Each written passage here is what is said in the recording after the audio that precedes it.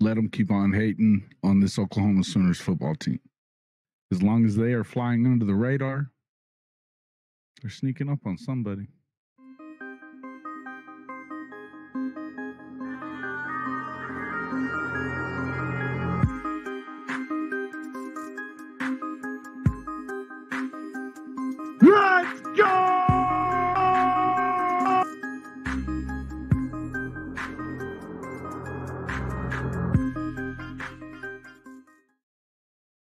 Welcome, welcome, welcome back to Hall of Fame College Football.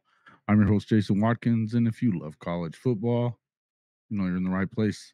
So before you forget, smash that red subscriber button, like our videos, and don't forget to ring the bell so you don't miss one moment of Hall of Fame College Football. Folks, I wanted to come to you and bring you just a, uh, a quick recording, talk about a few things after four games coming into the week, kind of my grades for Oklahoma uh, through the first quarter of the season. It isn't perfect. Uh, they haven't been perfect, but you know what? The record is they're on their way up, and we are seeing things out of this football team we haven't seen in the past period, along with some things that, while we may not perceive it as the same thing, it's pretty freaking similar to what we saw before all of that put together probably means this may be one of the better football teams you've seen at OU in a long time that nobody's talking about. And that's kind of a funny thing, isn't it? I was just in Cincinnati this past weekend. What a freaking amazing experience that was. Got to go out and hang around with a couple of my uh, favorite audience members. Um, you know, again, I wanted to thank, uh, you know, Justin and Christina. You know, they were great hosts uh, there in Cincinnati, a place I hadn't been. And I got to tell you, um, as I talked about before, I really, really, really enjoyed, uh, you know, that trip and and enjoy that city. I think that Cincinnati is probably one of the better sports towns, period, that I've been around at all. Uh, great atmosphere inside of Nippert Stadium, which is the oldest uh, college football stadium in the country it's obviously been it has obviously been uh, upgraded over time. I really, again, I, I enjoyed everything about it. Uh, the fans there were knowledgeable, um, and for the most part, pretty cool. You know what I mean? Uh, they were loud. They were loud, but uh, you know they were they were really cool to uh, to the visiting Sooner fans, which there was quite a few of those there too. But that place got loud a few times. And I got to tell you, the way that Oklahoma played, uh, you know, you can nitpick at this offense if you want to, but they went up against the best defensive line they've seen all season. Uh, it's one of the top defensive lines they'll see all season with Dontay Corleone being just a man among boys out there. This guy's a first round draft pick, All American, got written all over him, right? Um, even still, really what you saw was a couple of mishaps here and there that kept it from being larger than that 20 to 7 final score that you saw. Now, of course, you do have uh well, not and not even just these people, but a lot of national pundits such as, you know, Brandon uh Brandon what's his name? Uh from Barstool Sports. He's continually said that Oklahoma sucks. He's been stuck on that since last year. Uh, I think it's just be, it's gotten with him. It's gotten personal. I think they use it for clicks more than anything else. Uh, they know they talk smack about OU, and in fact, everybody kind of knows if you talk smack about Oklahoma, you're gonna get kind of get, uh, well, you're just gonna kind of get the what is that? The fangs come out is what Koo said on the show last night. Uh, and that's a that's fine. But the thing is, is it gets a lot of clicks, and I think that a lot of times we as fans for OU we need to realize that and not give them uh, that satisfaction and, and give them the money that comes along with that clickbait, which is just what it is. Now, uh, something that I would tell you is you're getting a lot of that as well out of the recruiting classes and stuff. You had a bunch of those you know, Texas creator dumbasses is what I would call them that were uh, calling themselves recruiting gurus of some sort that had David Stone as a three star, uh, just because you, know saying stupid things like he was the last one on the field, first one off of it, during the practice that they saw. He happened to be hurt during that time. Um, again, I would say that's probably the same shit. Uh, you know, um, and then you've had a bunch of people that have been, you know, fishing for, you know, saying stupid things about even Danny Stutsman, who's been the number one linebacker in the country without a doubt. The amount of tackles that he's had, he's had defensive player of the week in the in the country and in the conference. And Oklahoma is doing what they're supposed to do with their quote unquote inferior opponents. Um, here's what I would tell you: let them think less of them. This is starting to look more and more and more like 2000. Nobody thought a whole lot of that Oklahoma defense either, that Oklahoma team either.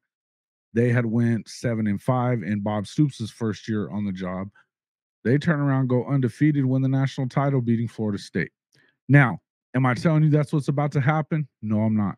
What I would tell you is, is that you have a situation here where as much as we may want to nitpick on Jeff Lebby, Dillon Gabriel, those things like that, they're going out there and doing the things that they're supposed to do against the teams they're supposed to do it against. When you look at the uh, Cincinnati game in particular, I would tell you that you have to look at it in terms of look, Emory Jones is the kind of guy that is going to hurt you with your feet. He's the kind of quarterback that has really been a problem for Oklahoma defenses for as long as back as I can remember quite honestly. And particularly last season, a running quarterback was kind of the death knell for OU. You saw it against Adrian Martinez in their first conference game of the season a year ago.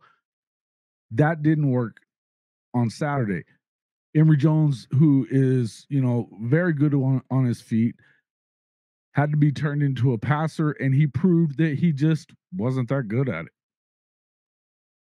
Jones on the day was just 22 of 41. That's 53.6% completing the passes uh, against Oklahoma. Also had two interceptions in that game. Oklahoma is one of the leaders in the country. Uh, actually, uh, the turnover margin, uh, they're number four in the country. And uh, they have, I believe they're number two overall in turnovers. Yes, uh, in in turnovers. Period. Turnovers forced. Anyway, as I would say, you know, and here's the thing, you know, let's take a look at some of the defense numbers overall. Uh, this is definitely, this is kind of where I feel like, uh, I guess I I would put it like this. I've been trying to understand, you know, why all this uh and, and you know you want to see dillon Gabriel hit that pass in that first quarter uh, to Jalil Farooq when he was pretty wide open. I think we've since heard that Jalil kind of pulled up on that. He didn't overshoot it by much, and Jalil pulled up because he was gassed. He went directly to the sideline after that as well. Uh, but it was one of those things where, yeah, if you put a little more air underneath it, maybe a little softer, he you know he runs under it, touchdown. You know what I mean? Or if you just hit him in the chest with it, it's a touchdown. He was wide open. You could have done it. Can you nitpick about it? Sure, you can. But let's do this real quick. Before we go there, here's what I would show you Dillon Gabriel's numbers overall are pretty fantastic if you look at it. Okay. Um, let's see. Oops. Overall, he's got a 78.0 completion percentage. That's third in the country. His pass passing touchdowns, he's got 12 uh, for the season. That's fifth in the country. QB rating of 197.2, also fifth in the country. Total touchdowns, uh, 14. That's sixth in the country, but only four behind Michael Penix's uh, number one spot.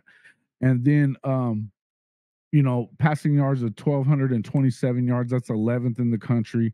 And his yards per pass at 10.4 yards per game. That's about one yard less than Caleb Williams, who is the number one in that category. Now, I've been saying this since last year, and this is something I've told you guys.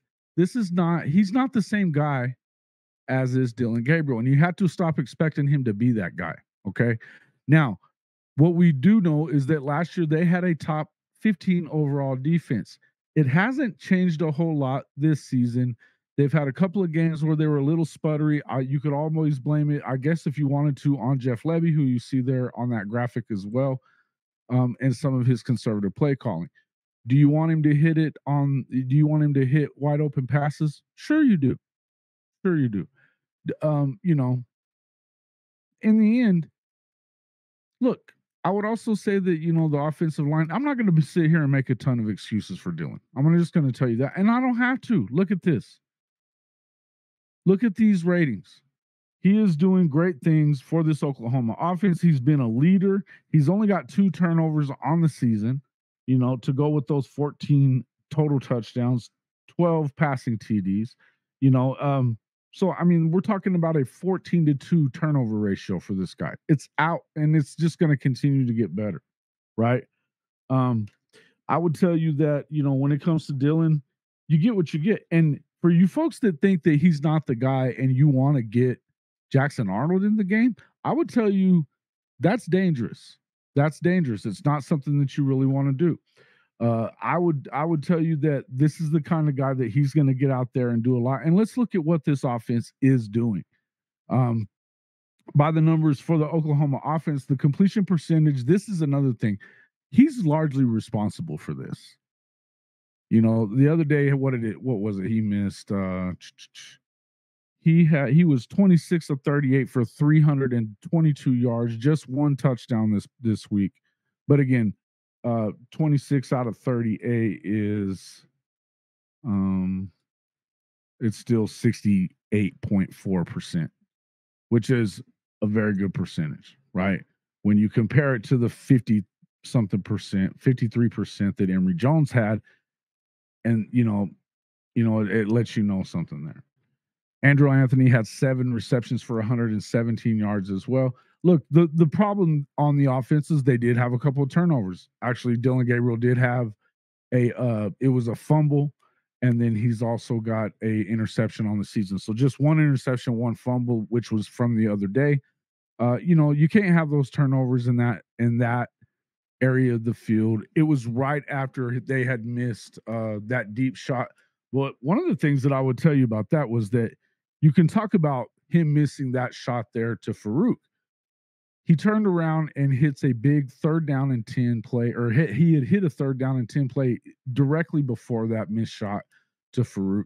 He ends up hitting another third down and 10 play a couple of plays later uh, and then on a third and three, he was running it. He got hit by by Corleone, coughs up the ball. You know, they recover. Yeah, you don't want him to do that, but you don't want him running into 300 pound Dontay Corleone either, or defensive linemen like that, or even linebackers. It's just not, you know, he got popped there. Uh, in the end, I would tell you that he's playing fantastic, guys. Is he the same as what we've seen in the past at Oklahoma? No. Um, he's not Caleb Williams, he's not Baker Mayfield necessarily. I, but here's what I'm going to tell you. Here's what I'm going to tell you. I believe, and this is my true feeling on this, is that Oklahoma fans are struggling. Some Oklahoma fans are struggling to get their mind around what they're seeing. They're used to seeing such an explosive offense that every week it scores 50, right? Because it has to. And there's been success that way under Lincoln Riley's system right? But I would tell you is defensively, you got to look. They're first in completion percentage in the country, points per game, third behind uh, USC. They're tied for, uh, yeah, they're in third place there. Let's see, offensive TDs per game, they're also third in that. Yards per game, they're sixth at 506.8. Passing yards per game, seventh at 349. That's only about 15, 20 yards difference from the number one team in the country. This offense is doing what it needs to do. Now, you can sit there and tell me, well, we haven't played anybody yet, Jason. Well, okay. You've played who you've played. Okay. You've played who you've played. And we know that from last season, whenever they didn't have Dillon Gabriel in the game, what did this offense look like? It was non existent for the most part, particularly the passing game. You got to give this guy a chance to do what he's going to do. Now, that rushing game, we would like to see that get uh, buttoned up a little bit. I think, uh, you know, Coach Venables talked a little bit about in his press conference yesterday that he'd like to see somebody step up and become the main guy or two, right? Um, I think that that's that's definitely something that needs to happen. Here's the one. Here's the last thing I'm going to talk about this, and I want to say that so far overall, you have to give these guys at least an A minus. Looking what they look like right now, they cannot help the schedule that they were both given by the Big 12, nor can they help the fact that the Georgia game was taken off the schedule. That would have been a nice uh, measuring stick to measure OU by. What I will tell you is, is the longer that people continue to talk bad, as far as outside of the program is concerned, the better it is for OU if they can fly under the radar. Eventually, you're only two weeks away, and not even a full two weeks away from the Red River Shootout with Texas, who was beating Alabama on their turf, so is considered the considerable favorite. Again, we know how we feel on this channel about that. I don't know that they are really. They're gonna have to prove it to me. You know, you're just gonna have to prove it to me. Guy gets a guy gets a name like Seven Wins Sark, it sticks with you. You know what I mean? Until you can prove otherwise. He's never won 10 games. He's only won nine once. And last year they should have probably won nine or 10 games and gagged up a couple and ended up going eight and five. Right. Um, Quinn Ewers, as good as he's been at times, I don't I think that they certainly look ahead. I don't think that they'll look ahead probably this week, uh, playing, uh, you know, the team that they're going to get. but what I would tell you is this: the last time that they beat Oklahoma was a while back, but that's when you're going to get that uh respect, I guess, nationally, maybe if you beat Texas there, right? And possibly even if you were to lose a close game.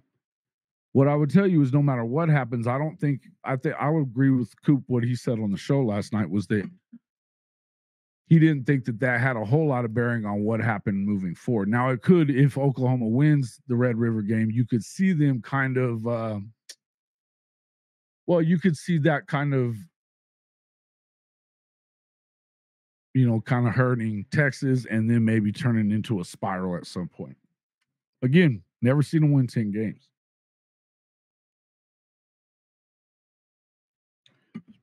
I would venture to say with their talent, providing they stay healthy, you would have to expect that they probably should win at least 11. Right? OU's got to should at least at least win 10. Honestly, the more I look at it, they should win 11. Again, when you look at this defense by the numbers, this defense is off the charts. Danny Stutsman doing his thing. He is en route for being a Butkus Award winner, All American type of guy, and probably a first round pick in next year's NFL draft. now, uh, the Athletic uh, has what they call the stop rate. I think this is one of the best stats in the country. It's simple, you know, how often they they stop their opponent from getting a score, uh, and it's eighty five point seven percent of the time. That's good enough for a tie for fourth, which is uh, in the country. You know, uh, also, scoring defense tied for second at 8.5 points per game. Uh, that's big time. They're number 11 in tackles for loss. They are uh, 12th in rush defense, 21st in opposing rushing yards at 95.3 yards per game. Opponents' yards per game, they're number 26th in that category at 310.8 yards per game. Also, total defense at 32nd. These are significantly better numbers than a year ago, and they're getting better. And this, I would tell you that this is a lot of this you ended up losing. You've lost what three starters from this defense. You got a couple back. I don't know how long Jaren Kanak's going to be out with uh, that chest injury that he had the other day. He was spitting up blood on the sideline. Uh, it could be a week or two before. I would guess you probably won't see him until at least the Red River game uh, in two weeks. Now, again, this is where I feel like the disconnect is. Oklahoma's not used to watching football like this, right? You're used to seeing explosive offense hang on because the defense isn't going to get it done. They haven't gotten it done in a long time, folks. They haven't gotten it done in a long time. The other day, I just got done rewatching the Oklahoma Cincinnati game They gave up some plays here and there. And with a running quarterback, though, used to they would give up tons of it. You know, and this is a guy who a week ago he had had uh Emory Jones had well over 100 yards in the game against Miami of Ohio, also a loss. He had 15 carries in this one for 42 yards. Just under 3 yards a carry there that uh, is right on track with their 2.7 yards per rush that they've given up as a team uh, this season. Again, that's good enough for 12th in the country in rush defense. It's right around where they were with Emory Jones. A year ago, that game, when they weren't at their best on offense, they would have lost that football game. They would have lost that football game. Here's what I got to tell you this is what Oklahoma fans have been demanding and clamoring for for a long time now. Okay. This is what you've been clamoring for for a long time. Let's remember that this is, to me, you've got to take the positive out of this. Do I want to see the offense be explosive every week? Sure. Can you expect anyone to be perfect? Contrary to, to a lot of people's you know memories and beliefs and stuff like that baker mayfield didn't hit every pass that he threw down the field. Neither did kyler murray. Neither did jalen hurts. Neither did caleb williams. Okay? I also think some of that you could help him out with some of this play calling. I believe you know eh, he's been completing 78% of around 78% of his passes on the season cut the guy some slack, man. Dillon Gabriel is not the problem. There's really not a problem offensively. Again, if you look at the offense, they're number one in completion percentage. They are in the top 10 in a lot of categories here. Okay. A lot of categories here. They're fine. Okay. They're scoring a lot of points. You know, that, that you know, you want to see them be a little less schizophrenic but really, that came down to a couple of turnovers. It came down to a turnover, uh, you know, and kicking field goals, uh, you know, whenever you didn't have to. You had the the snap that went off of Gabriel's chest early in the game.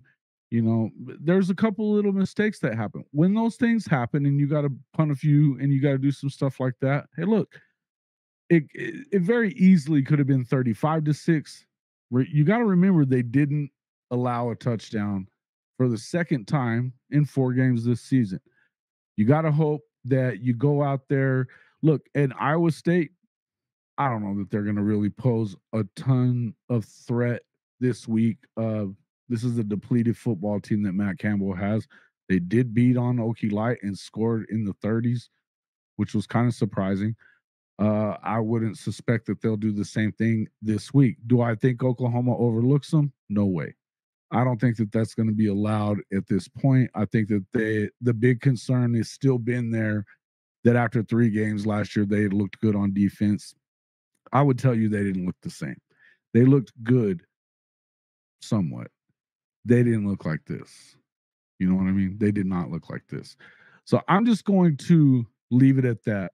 Uh, again, I think that this is a solid football team. As I said on the show last night, I do feel like this is an opportunity that Oklahoma has to make it to the playoff uh, in the end. You know, I really do feel like that's a possibility. Whether or not they get that done, we're going to find out, guys. You know, we are. But have some optimism here. Be okay with the fact that people are sleeping on your Sooners. Let them come out of nowhere. I think the more they they play, the more confident they get, the more they enjoy the each other and the way that they're playing. And I think that this defense is getting confident more and more every day. Guys like PJ Adebawore, he's gotten better every game this year. By the end of this season, he could be something special. They really could be working towards that conference championship and maybe an opportunity to get into the playoff. We'll find out if that happens. But hey, like I said, let them overlook us.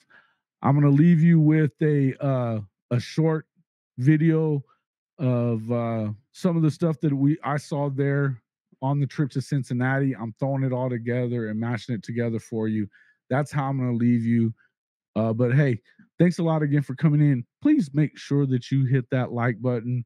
You can always become a member of the Hall of Fame Mafia, and you should become a member of the Hall of Fame Mafia as well. It's right here at the bottom right of the screen, youtube.com slash at CFB dash pod slash join, or right here at the video. If you look just below me here, whoops, there. No, right there, I think. There's a thing that says join there, a little thing that'll give you it's as low as 2.99 a month, guys. That's about half of the price as one of your Starbucks coffees. Um, it really, really will help out the show, us, all this content that we're bringing you. We're trying to do the best we can with that.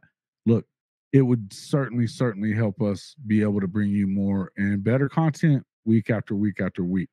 You can also help us out by purchasing a Louisiana grill through our partner link. That you'll also help yourself out there. It's a win-win deal. A hundred dollars off every grill in their black label line. Unbelievable technology uh, on barbecue and smoking. You got to go check them out. We still have our official partnership with Fanatics, hofmedia.us slash fanatics. Get up to 65% off everything in the show, everything in the store, just by using our link. You can get things such. I just bought a couple of items myself uh, the last couple of days. You know, uh, I got free shipping on one of them. I got like 50% off, uh, 50% off of a hat. I mean, it's uh, you're gonna get great deals. Make sure you get in there and get your favorite stuff. But hey, a free way to do this and to help us is to make sure that you hit that like button and share us with other people. Uh, you know, that's the biggest way for this thing to grow. Our podcasts are on audio as well. Make sure you get over there and check them out. If you don't have time to watch the videos, jump in there and listen to our podcast, particularly in long form. A lot of people like to do that in the car uh, or at work with their headphones on. Great way to be able to do it. That's everywhere you like your podcast get in there, rate us. You can rate us on the website, hofmedia.us as well. Give us five stars wherever you're going to rate us. You know, that that helps get us out there as well.